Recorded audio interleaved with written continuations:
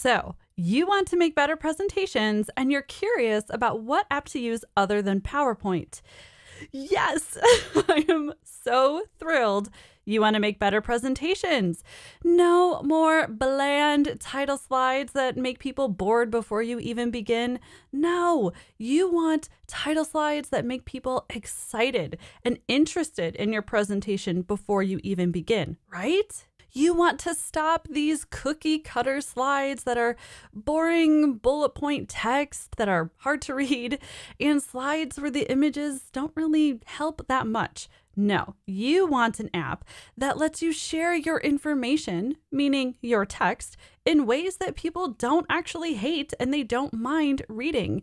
And most importantly, you want those visuals to make an impact, to be noticed, to help your audience stay engaged. I am with you. okay, let's keep going because I just need to make sure we are 100% on the same page. You want to stop sharing your statistics in just a list of bullet points so that they're just buried and don't stand out. And do you want your slides to stop looking, I don't know, kind of messy or unprofessional? Just you're just kind of unhappy with them and you don't really know why, right?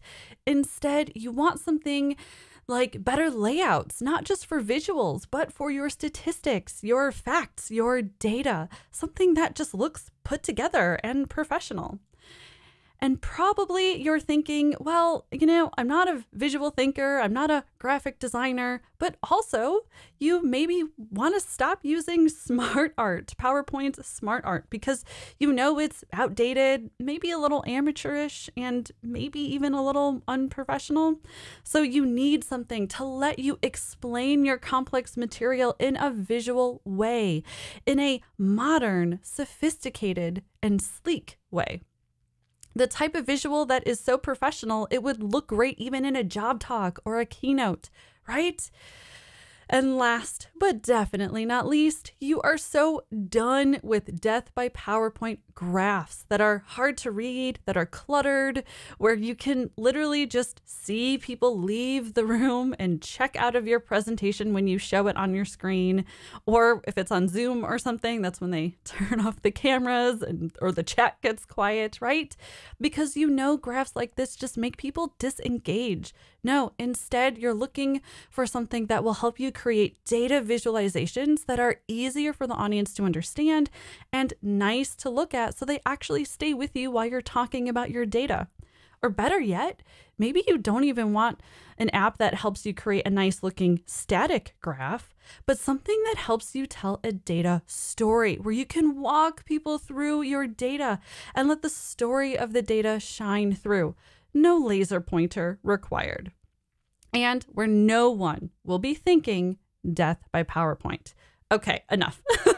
Have I covered the basics of why you are here watching this video?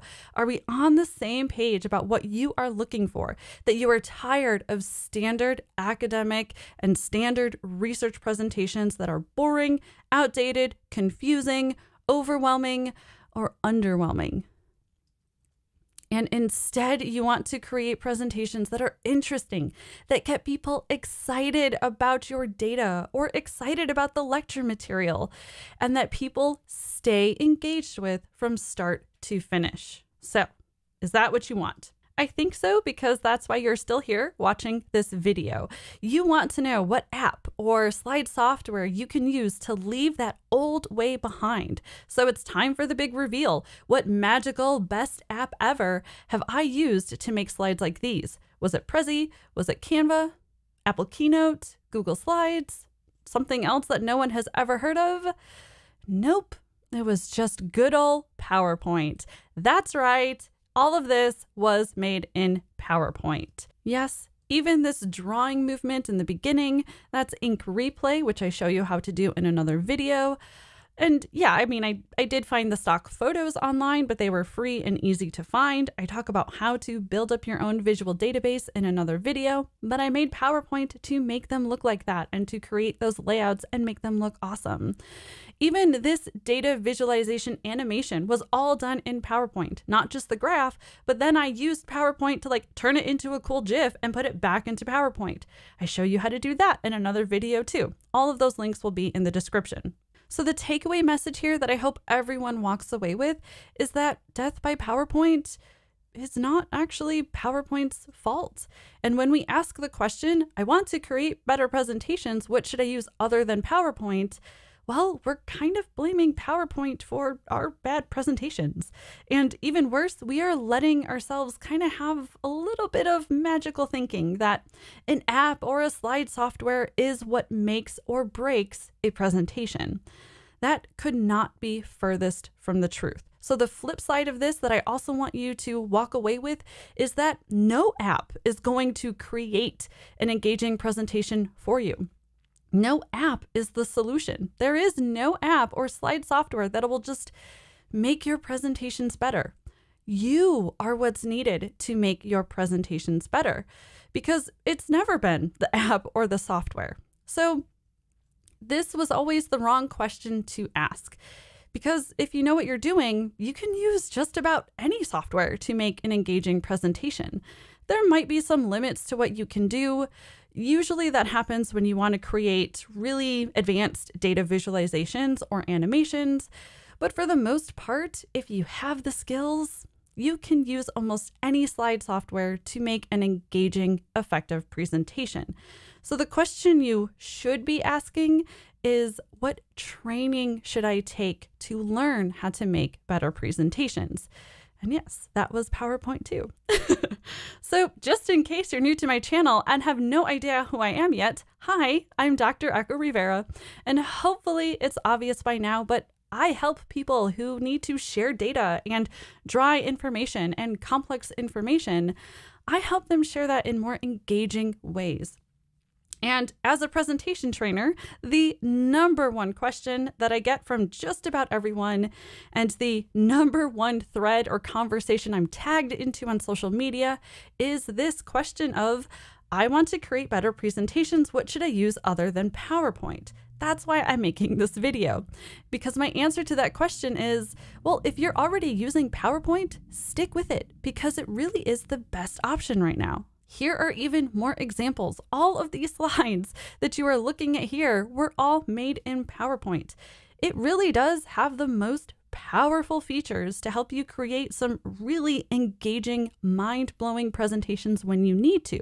For example, if you have a job talk coming up, or a keynote, or like a long training workshop, or you have a presentation to like stakeholders or policymakers, like really high stakes stuff. PowerPoint lets you create something truly mind blowing and memorable, effective, and engaging. And it's easy enough to use for everything else class lectures, lab meetings, conference presentations. And most people have used PowerPoint a lot, sometimes for years. So there's not really a big learning curve if you stick with PowerPoint. All you need is training on effective presentation skills generally when you are using slides, regardless of what slide software you're using. You don't need a PowerPoint course, you don't need a Canva course, you just need a presentation skills course.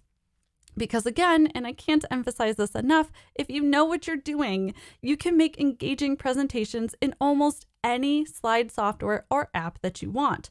Personally, I think Canva is one of the worst, one of the most annoying and frustrating apps to use for creating presentations. But I have a friend who loves it and she can actually make engaging presentations with it because she knows just how to be engaging and just has those engaging presentation skills. So I can show you how to communicate effectively when you are using slides, even if Canva is your favorite. Of course, I recommend PowerPoint, but really, this training just is about how to present information with slides, with a visual complement. And I can help you even if you are convinced you are not a visual thinker or you just can't do graphic design. I show you exactly what to do in my Presentation Skills Masterclass series. And yes, it is available to both individuals and groups. So I can train you or I could train your entire team or lab or organization or department. But I bet you have a new question. Now you are wondering okay, I, I, I, do want to make better presentations, but can I do that without it taking me forever? So, to answer that question, yes, it is possible to create better presentations without it taking forever. How is that possible? With a system that speeds things up. And I talk about the system I've developed in my free training workshop called The Six Gears of Creating Engaging Presentations and the entire training was made in PowerPoint. So, if you really are ready to create better presentations, then I recommend that your next step is to watch my free training workshop. The link is, of course, below. And at the end of the workshop, you will learn a little bit about my masterclass training program. But just in case you're already ready for that too, the link to that, where you can learn more about my training program, is below. Alrighty, if you enjoyed this video, you know what to do. Hit that like, subscribe, and that bell button. If you know someone who is convinced that PowerPoint dooms you to create bad presentations, please share this video with them. And again, if you are ready to improve your presentation skills without it taking forever, then your next step is to sign up for my free training workshop to learn more about the system that I have. The link is, of course, in the description below. Thank you so much for watching, and I'll see you in the next video. Bye!